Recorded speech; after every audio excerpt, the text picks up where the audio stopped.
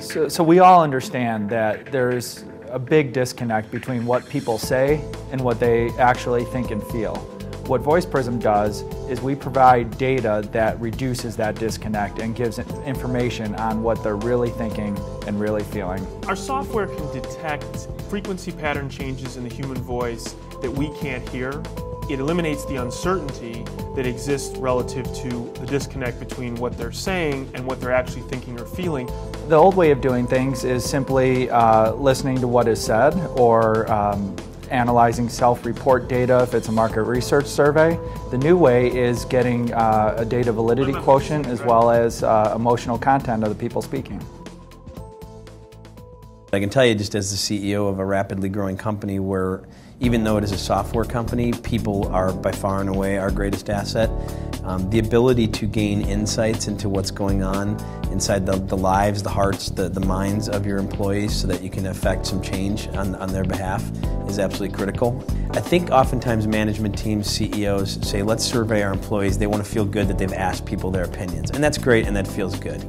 Um, the problem is the insights that you get really aren't all that actionable. All I can tell you is it's the difference between sort of a one-dimensional quantitative read on what you think is on the minds of your people versus a multidimensional, vibrant, dynamic understanding of not only what's on their mind but what's on their heart as they're expressing to you what's on their mind. Very big difference.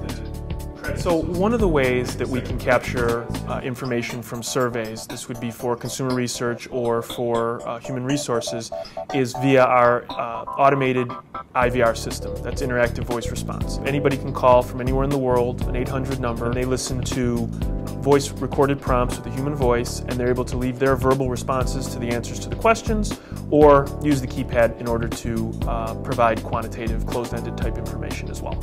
Definitely would purchase we get the results in, of the audio files and we run them through our engine and are able to produce the output that would show the various emotions that are going on during the responses to those questions as well as whatever other quantitative information they may have provided in the survey. So, so what we have here is an example of how our customers might see our output when they have longer recorded interviews. So this is a constant measure over the time that she's talking about how reliable the statements are. So she's reliable in her statements from when she says it wouldn't work for me.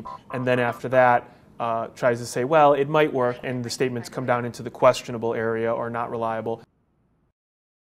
So we really wanted a solution if we were going to commit the resources is to find something we could really trust the data and get some insights from it. I mean, I have surveys in the past. I mean, we send out email surveys right now, and there's questions like, you know, did you have a good experience, yes or no?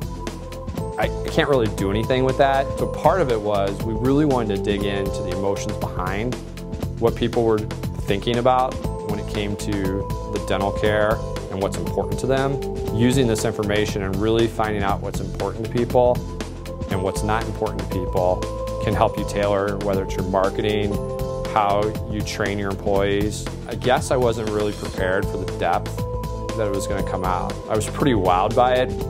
One of our platforms for collecting information is called Voice Insights. And that exists on a regular uh, PC with a microphone hooked up to it.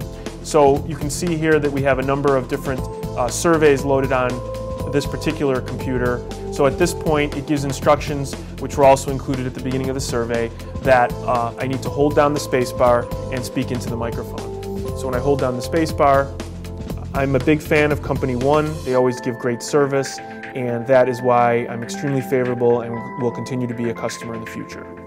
It uh, comes back to me with a green box that lets me know that I've, my voice has been recorded uh, successfully and that the software was able to process the results in order to get at the emotions that will then uh, be shown in the output. So this particular chart lists all the questions that were asked in the survey and then red would indicate extreme stress and yellow mild stress, green no stress, uh, rank ordered from the least stressful issues down to the most stressful issues that existed on this particular survey.